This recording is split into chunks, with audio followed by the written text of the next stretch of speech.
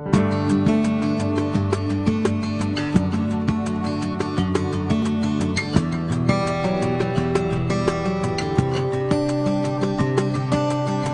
right. So, we're ready na for step number three. First is define the CIT, and then determine the CIS, and now decide on the title of the sermon. So ngayon, naintindihan mo na yung anong gustong sabihin ng author to the original audience, that's the CIT. And then you, you want to use this message to your, to your contemporary audience. Meron ka ng PS to connect this, your purpose of the sermon. And now, you want to make a job on the uh, title of the sermon. Yung title is very important for at least three things. Number one, it grabs attention. It grabs attention. Sa mga simbahan na merong billboard sa labas in America, most churches, they have their billboards outside. Nakasulat na yung title ng sermon for the next Sunday. So people are driving and they see, uy, ganda ng title dyan next Sunday. ah. Dyan tayo magsimba ngayong Sunday. You know, it grabs their attention. Also, of course, it provides a reinforcement to the sermon. A lot of times, yun know, parang summary statement yan of what the sermon will be about. But obviously, pinakamalaking help ng title is the memory. When people ask, ano nga yung sermon ni Pastor last Sunday? Immediately, the first thing they remember is the title. O kaya, yung joke. Nung Sunday na yun. Yun ang nare-remember ng mga tao. But the- what are the qualities of a good title? Number one, a good title is tantalizing. Ibig sabihin ng tantalizing, it whets the appetite. Alright? And so ibig sabihin, parang ano yan eh, parang ah, sa pagkain, merong, ah, anong tawag na sa pagkain?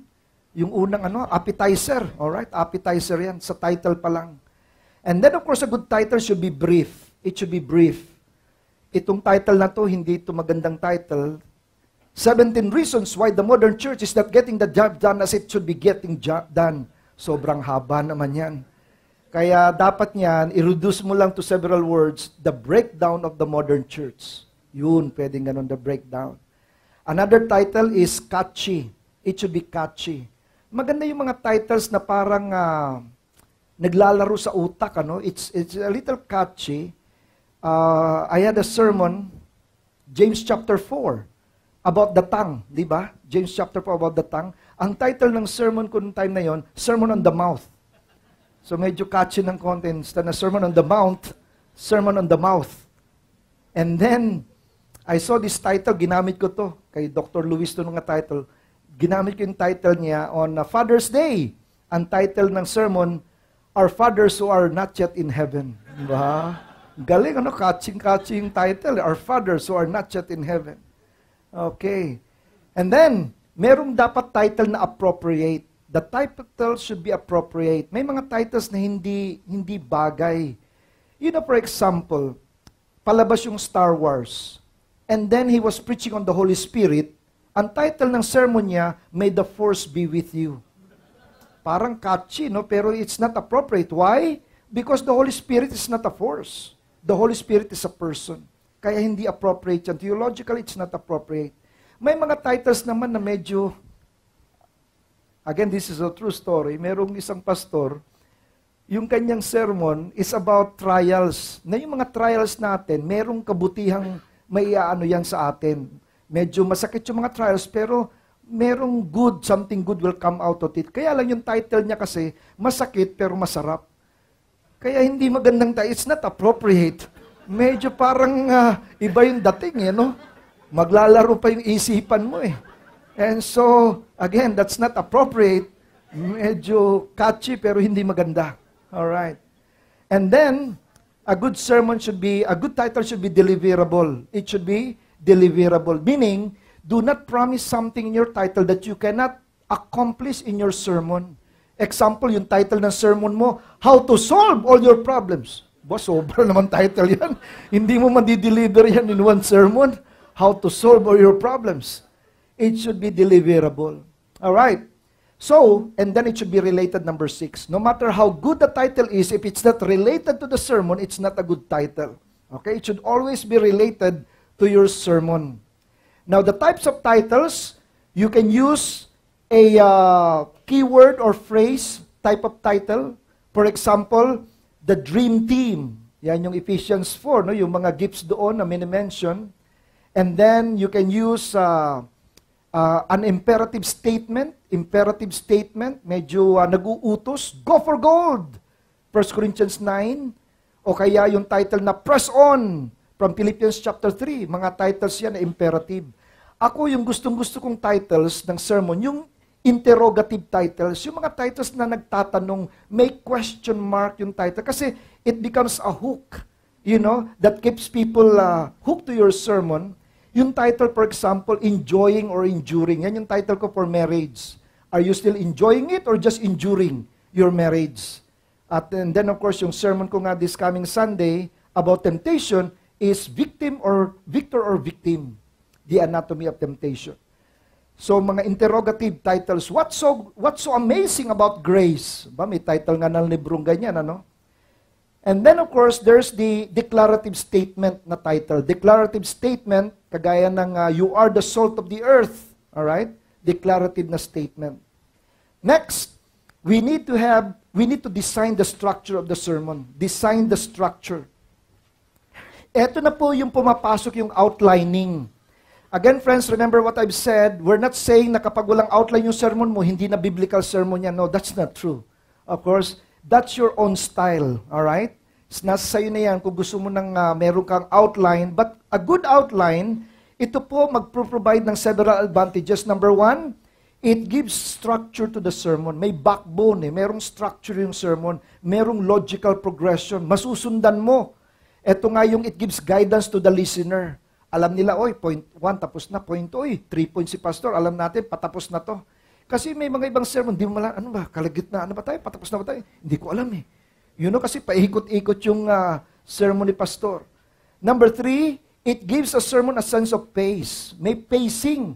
Kung 30 minutes yung sermon mo, tas 3 points ka, at least take 10 minutes bawat point. So meron kang proper pacing kapag merong outline. Number three, of course, it brings unity to the various parts of the sermon.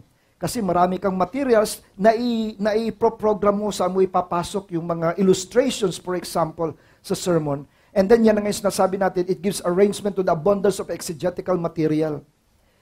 Again, outlining po ito. So depende na po yan how you outline. Malaking bagay po dito yung structural, di- uh, yung sinasabi nating um, the structural diagram. We discussed this in level 2 We will have some structural diagram in a little while, pero doon po natin to diniscuss sa level 2. So for example, kung 8 verses yan, na-divide mo into 3 portions, abay okay lang yan. So that means, you can have uh, an introduction, yung pinaka-body ng sermon mo, paano mo i-explain yung 1 to 3, illustrate mo, yung exegete mo yung 4 to 6, tapos sa 7 and 8, more on application, just give a poem. So, depende na how you're going to develop it the Lord Jesus Christ, when He gave instruction to John, nung sinusulat yung Revelation, very interesting, the Lord Jesus Christ gave a three-point outline. I'm sorry. A three-point outline. Sabi ni Jesus kay John, Write therefore what you have seen, what is now, and what will take place later. So dito po, very clearly, you can divide the whole book of Revelation. What you have seen is Revelation 1. What is now is Revelation 2 and 3. And then what will take place later is Revelation 4 to uh, 4 to 22. So what you have seen is the past. Christ is unveiled in chapter 1. What is now, the churches un- are unveiled, the seven churches of Asia. And then, of course, the culmination or consummation unveiled, the seven events that are about to happen, starting with, of course, yung, uh, yung, uh, the rapture. So, three points po yan. It's sa po to sa parang kinokopya ng mga pastor, ah, That's a good example that the Lord Jesus Christ has set for us, three points na outline. It's enough, you know, medyo tama na yung, uh, yung kanyang uh, contents, no? Three points. Kasi kung five, six, or so many points, medyo mahirap ng tanda. Pero at least itong three, madaling mag-grasp. Now, how do you preserve your outline? If you're going to use an outline, use the acronym SAVE. How you save it? Letter S, you state the point. Kung gagamit ka ng outline, sasabihin mo sa congregation, Brothers and sisters, point number one, it's time to wake up. All right? Point number two, it's time to clean up. So, ini-state mo yung point. And then, yung letter A, you now anchor the point. Saan mahanap yan? Point number one, it's time to wake up. Look at verse 11. Romans 13, verse 11. I-anchor mo. Tapos mong i-anchor, you validate the point. I-validate mo. Paano mo nakuha dun yung it's time to wake up? Saan mo nakuha yung idea na it's time to wake up from verse 11? And then of course, you try to explain uh, whatever it is that you want to uh, amplify from that point, it's time to wake up. So you save your outline by stating it, anchoring it, validating, and then explaining your point. There are different types, reiterative uh, types of uh, outlining. Ito po yung reiterative patterns. Number one is called alliteration. Alliteration. Ito pong alliteration, alam na po ng karamihan to, ito po yung same letters, beginning ng word, same letters. For example, a purpose interlude, a purposeful interlude, a personal interlude, private, and peaceful interlude. Letter P lahat yan, one-line alliteration. May mga pastors po marunong gumawa ng two-line alliteration. So yung two-line alliteration, assume our position in Christ, assert our prerogative in Christ, and then accept our provision in Christ. That's a two-line alliteration. Letter A, tsaka letter P. Eh may mga pastors po na napakagaling, they can make a three-line alliteration. Ba? Eto na, three-line alliteration. Respect the mystery of God's provision or God's providence. Request the ministry of God's people. Rest in the mastery of God's peace. And rejoice in the majesty of God's power. Three-line alliteration yan. R, M, and P. Abay, hindi madali yan, kapatid. Talagang pinag-iisipan yan. Ito, nakabase yan sa Acts chapter 12. Remember Acts chapter 12? Paul, uh, si Peter at si James were arrested. Pero si James was beheaded And now, si Peter was being preserved sa Feast of Passover para doon siya, i, doon siya maging martyr, doon siya patayin.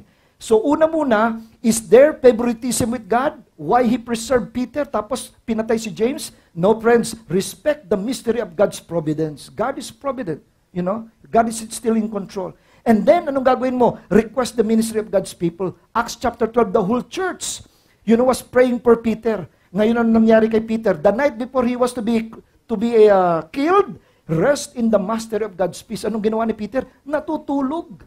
Makakatulog ka ba? Kinabukasan, papatayin ka na.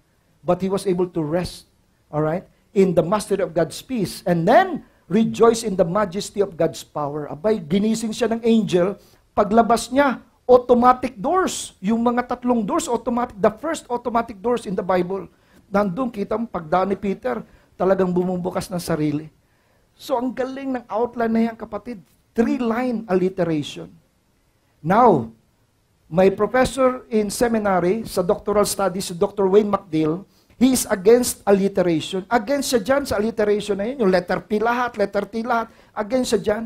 Sabi niya kasi, ang reason niya, sabi niya, alliteration consistently compromises conceptual clarity. Aba, talagang alliterated naman yung kanyang reason din. Pero against daw siya, against daw siya. Pero alliterated. And so again, there's a lot that we can learn there. But friends, the second type of reiterative pattern is of course is assonance. Assonance, same sound, same syllable sound sa ending ng word, same sounding, a same end sound, no? For example, we must treat our enemies pleasantly, profitably, prayerfully. That's a one-line assonance. Meron tayong two-line assonance. Remember the three fingers? Ano yung three fingers natin from ancient text to the modern audience? Exegetical investigation, theological reflection, homiletical presentation. So, two-line assonance yan. Tatlong kal, tatlong syon. Yan ang two-line assonance. Alright? And so again, that is just to aid memory para mas madaling matandaan.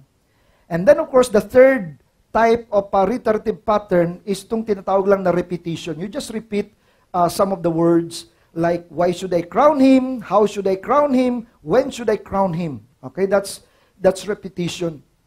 Now friends, we need to realize na meron pong dangers itong reiteration. Sometimes yung abuse ng mga preachers, they use reiterative patterns sometimes demonstrate a tendency to manipulate the subject matter in order to make the content fit a desired design. Kahit hindi naman letter P, pepwersahing letter P. The past, the present, and the future. Ba? Letter P pa rin lahat siya. Sobra. Masyadong persado. And so para lang talaga maging letter P. Addiction naman yung iba. Some pastors become so addicted to the use of reiteration that their designs become burdensome for the hearers. May mga pastor, outline, three days ginagawa. Outline lang, tatlong araw, binubuno. Grabe naman yan. Outline lang, tatlong araw. And so again, medyo uh, may abuse, addiction, and of course, arrogance. Parang kagaya rin yan ng, you mentioned so many Greek words, you know, and so parang to display their ingenuity and then their cleverness. But friends, we need to realize na talagang may advantages rin naman yung ganitong mga outlines. It helps in the interpretation, it helps in the instruction, it helps in the internalization ng sermon. Kaya kung meron kang outline, medyo nakakatulong din naman. Let's have some outline here. Subukan natin Romans chapter 12, 1 and 2. Alright? Come on, subukan nga natin, magsulat tayo. Paano ba natin i-outline yan? Let's say, textual sermon, two verses eh. Textual sermon. Subukan nyo nga, paano nyo i-divide yan? This is an instruction from the Apostle Paul after 11 chapters of God's mercies. Sabi niya ngayon, I urge you therefore, brothers and sisters, in view of God's mercy. Now, sa original, plural yan. Dapat mercies yan. Kaya in view of God's mercies, yung 11 chapters, itong dapat nating gawin.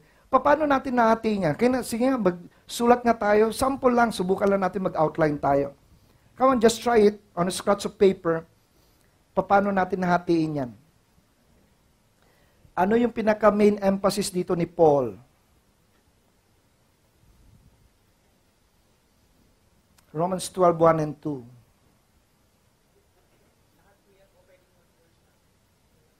Yan, yung 1 and 2. Yung buong ano. Oh, let's say, ipipreach natin to ngayong Sunday. If you are to make an outline of uh, Romans 12, 1 and 2, how would you make it? Anong pwedeng, uh, anong pwedeng gawing outline dyan? Paano mo hahatiin yan? Anong, what way do you can you make a section?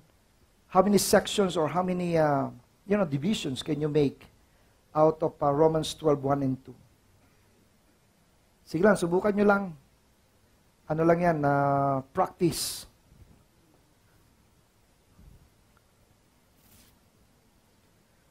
Again, as I've said, this is not an exact science. There are several ways you can do this.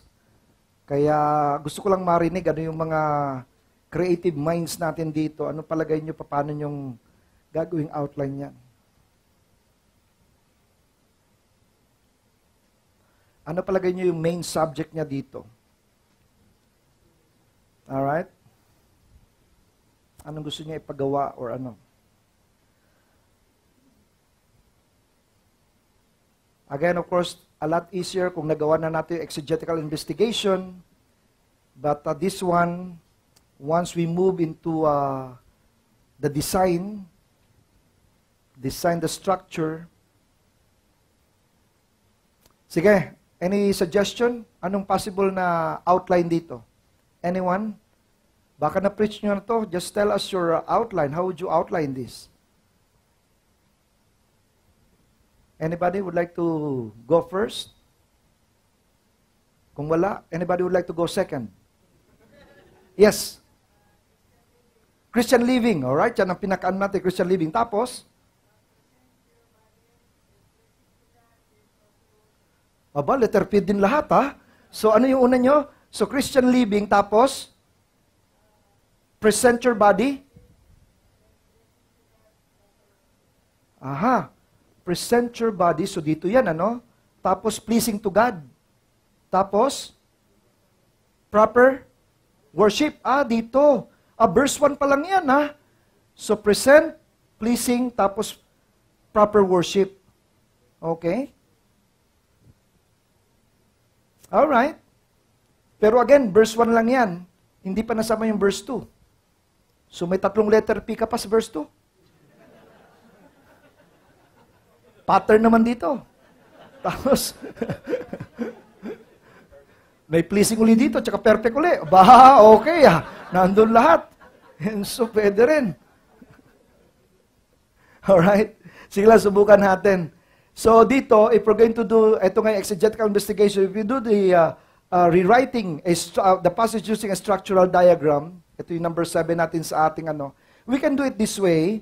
So, ito yung sinasabi niya, Therefore, I urge you, brothers, in view of God's mercy, plural nga yan sa original, offer your bodies as living sacrifice, holy and pleasing to God. This is your true and proper worship Do not conform to the pattern of this world, but be transformed by the renewing of your mind. Then you will be able to test and approve God's will. What God's will is, His good, pleasing, and perfect will. So unang-una muna, I urge you. That's the main subject dito. He's urging them. Alright?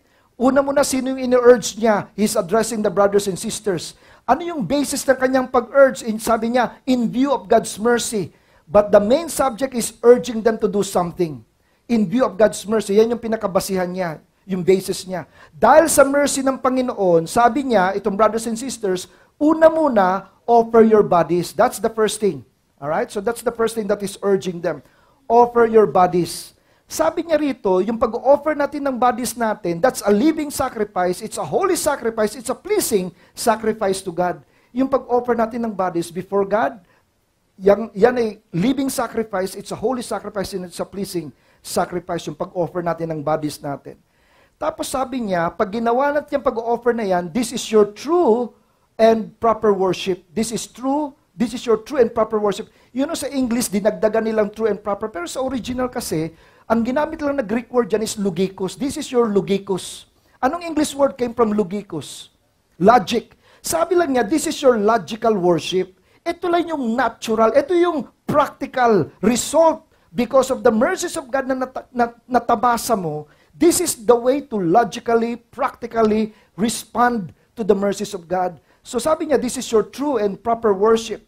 So offer your bodies, yung pag-offer na yan, that's a living sacrifice, a holy sacrifice, a pleasing sacrifice. And then pangalawa, sabi niya, I urge you to offer, I urge you, do not conform to the pattern of this world. And then pangatlo, sabi niya ngayon dito, I urge you to offer, I urge you do not conform, I urge you, be transformed. Be transformed by the renewing of your mind. Ngayon, pag ginawa natin yan, sabi niya, then, saan nakakonect yung then? Yung then, palagay ko, para sa aking analysis, nakakonect yan doon sa I urge you. Pag ginawa natin to, then, itong tatlo na to, pinapagawa niya, offer, do not conform, be transformed. Pag ginawa natin yan, I urge you to do this, then, ito yung magiging result, then you will be able to what? Sabi na, then you'll be able to test and approve what God's will is, madidiscover mo na God's will, three things about God's will. God's will is good, God's will is pleasing, and God's will is perfect. Pag ginawa natin yan. And so dito ma-analyze mo ngayon, okay, ito yung sermon ko, ito yung outline ko, po-focus ako dito. So dito sa structural diagram, hindi ka mawawala kasi sinusundan mo yung logical progression ng discussion ng author. So posible dito, when we do the uh, when we relate the passage contextually, kasi hanapan natin ng context ito. Kasi Romans, uh, Romans 12, 1 and 2 na to, eh, nasa towards the end, Romans 12, 1 and 2. Alam natin na yung chapter 1 hanggang chapter 3 talks about sin, the theme of sin. 3 to 50, 3 to 5 talks about the theme of salvation. 6 to 8 talks about sanctification. Tapos, yung uh, 9 to 11 talks about sovereignty. Tapos, yung 12 to 15 talks about service. Diyan napapasok yung ating Romans 12. It's about service. It's about consecration to God. So pwede nating gawing uh, pinaka-subject matter natin dito or title even is the call to serve. When we serve God, ito dapat. How do we serve God? How do we consecrate ourselves to God? So ito na yung tatlo. Sabi niya, I urge you, unang-una muna, sabi niya, offer your bodies. We can call this, number one, total dedication. When we serve God, there must be total dedication. Offer your bodies. Number two, hindi lang yan, do not conform. That means, do not conform to the pattern of this world. Medyo didistansya tayo dyan, huwag tayong susunod. So it talks about radical separation. And then number three, it talks about being transformed by the renewing of your mind. Your mind ito, ha? Ibig sabihin yan, dapat mayroong personal transformation. So pagka in-outline natin yan, anong tawag sa outline na yan? Assonance. Okay? So, pareho yung sound. Two-line assonance ito. And so we have there the call to serve total dedication, radical separation, and personal transformation. So dito lang, mas medyo mas masisimplify how you're going to discuss itong Romans 12, 1 and 2. Alright?